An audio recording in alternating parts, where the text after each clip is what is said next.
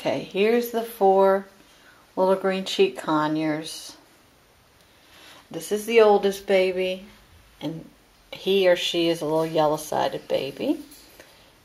If you look real close underneath, there's a few red and yellow. Oh, you're being shy about me showing underneath your wing. Huh? Um, there's a few yellow and red feathers coming in underneath his wings. And this baby is the second hatch. And this is a pineapple baby. And this baby is a girl. I know genetically. Um, this pair can only have female pineapple babies. So this is a little girl pineapple. And the third hatch over here is also a yellow-sided.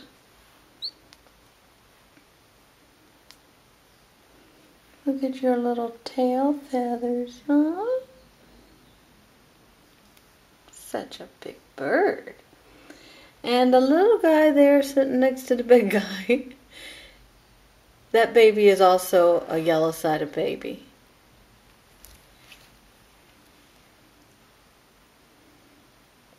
So there they are.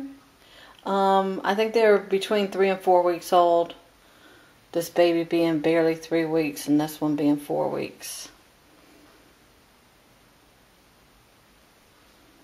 What you doing there, huh?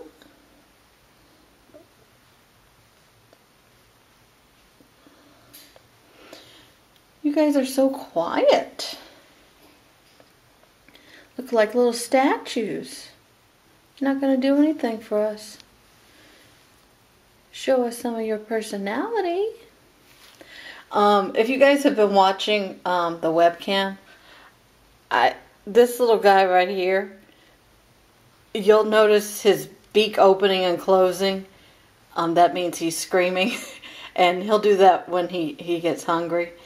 And he will scream and huddle next to the older babies to try to get them to feed him, him or her. And I just think it's funny. I've been getting a kick out of watching the webcam myself.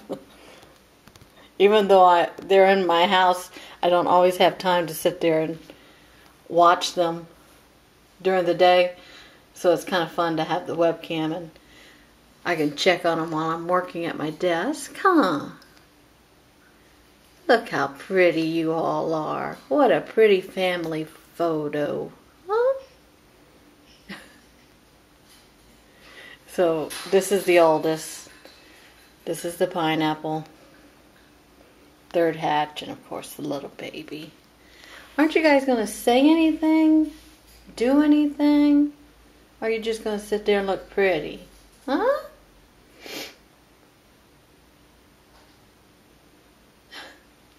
Somebody's falling asleep.